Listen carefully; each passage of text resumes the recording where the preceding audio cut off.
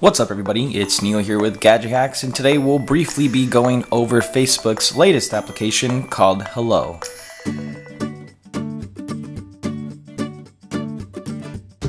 Hello is essentially Facebook's replacement for your dialer app and your contacts app, syncing Facebook information along with the contact information already existing on your device.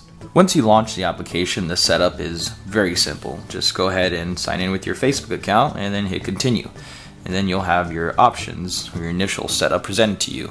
The first screen's allowing you to toggle on which numbers show up so you can allow new numbers, save numbers to show up. I'm gonna leave that because I do want them to show up. Then you have block, block or unwanted numbers.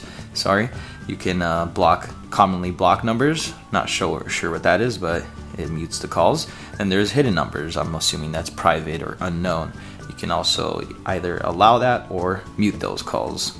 And then up here you get a little rundown of all the things that will show up and come through according to your preferences.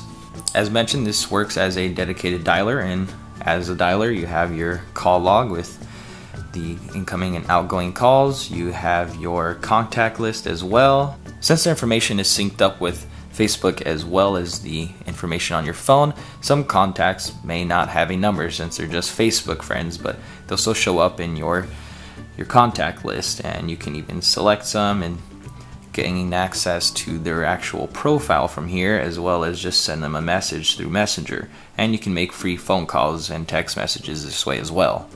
You can easily use this search bar to find people in your friends list on Facebook or your contacts so you don't have to switch between applications and then you have your settings. So right here I have some of my basic info that I can go over and edit whenever I want to. As you already saw, when you get an incoming call, you'll be informed of who they are with all their Facebook information that's always updated, and then you also have their profile picture, which is pretty convenient. Even if you're not extremely into Facebook and use it regularly, this application is actually very useful, and it's just easier when you can integrate an application like Facebook that controls almost everything social with your caller ID. So I definitely suggest trying it out. Um, I think it's a good application. So let us know what you guys think over at gadgethacks.com where you can check out the full guide. Also, don't forget to like, comment, and subscribe for some more awesome and very useful Gadget Hack videos. Thanks, guys.